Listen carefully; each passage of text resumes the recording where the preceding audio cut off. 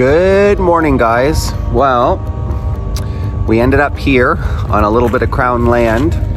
You can see the RV in the background. And Patrick's just up the road, and then there's another one up the road.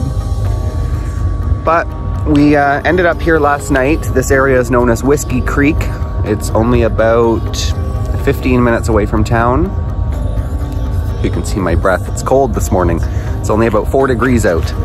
So there's Precious doing her sniffing.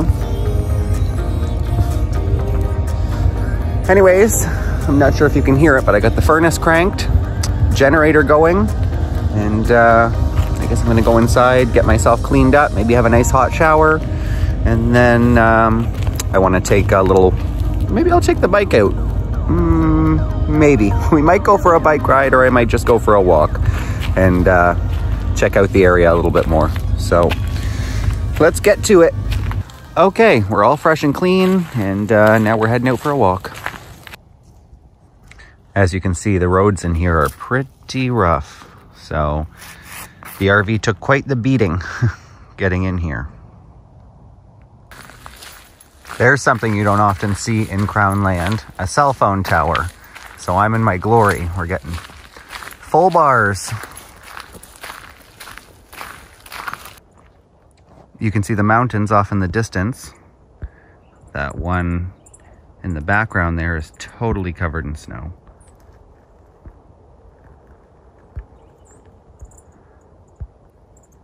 I can also see somebody's been using these signs for target practice. Almost nothing left of that one. I just stepped in three of those potholes because I'm too busy looking around trying to locate the perfect Christmas tree because it's getting to be that time of year.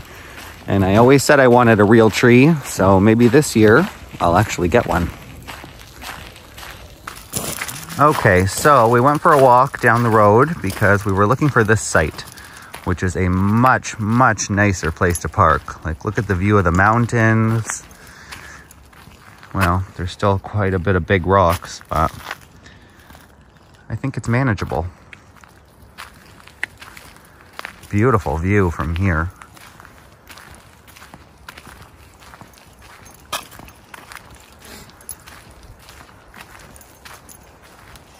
Yep, much, much nicer, although I'm starting to see that there is a lot. Holy crap. Well, someone is using it for a dumping ground. There is a gigantic pile over there. Wow. Unbelievable. So don't look down and just look out, I guess. Look at those mountains. Beautiful. Okay guys, well, I think I'm gonna try and move down the road to that other spot with the view, but uh, first I have to make a quick run into town because I need some drinking water. But luckily the GPS shows that the closest store is only four minutes away. So, uh, I have to go back down this sketchy road. Yikes. There goes Patrick. He's going to find somewhere sunny to park for the day to recharge the batteries.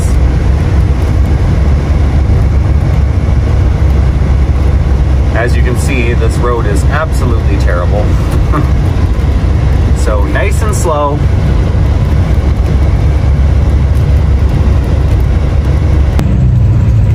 Okay, so the other day I was driving. God, every time I turn, everything falls. I was driving and noticed my same rig getting towed by a tow truck, and now I just drove past a scrapyard, and I'm pretty sure I see it, yep, sitting right there. I'm gonna run in and see if they'll sell me that air conditioning shroud. I wonder, I'm just gonna pull over and park on the side of the road.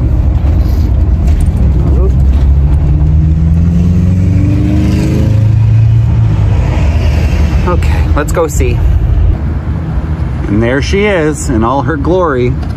So now I just have to find somebody and ask them if they're willing to part with that air conditioning shroud. Well, that was a bust.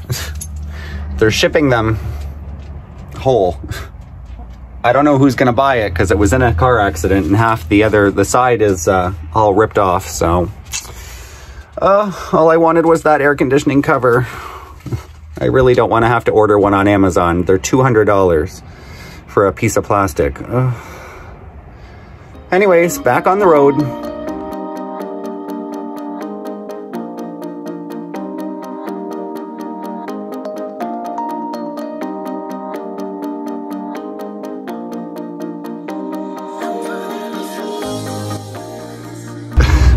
well, guys, whatever was left of the air conditioning shroud just blew off on me and scared the crap out of me. Uh, it's super windy here today on the island. We're just across from the Nanaimo airport. Uh, back on the road now, I guess. Good morning, everybody. It's a cold one. Look, the windows are all all frosted up. Anyways, Lizzie's RV battery is dead behind us, so Nana to the rescue. Well, guys, I boosted Lizzie. She's gone off to work, but uh, then I went back in the house and uh, fell asleep. So it's just, I don't know, maybe around noon or something. I see Patrick has shown up.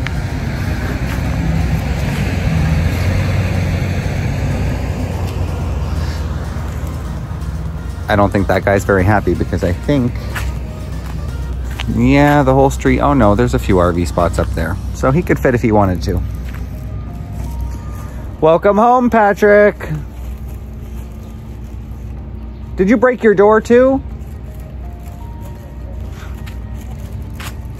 RVs. It's always something. Anyways, I'm just going for a walk over to the drugstore to buy water and maybe a chocolate bar. By the looks of it, Patrick's going to do laundry. Quite a few of us here today. And then this one over here. That one doesn't move though. Apparently the guy that owns it met someone here in town. So he's living with her.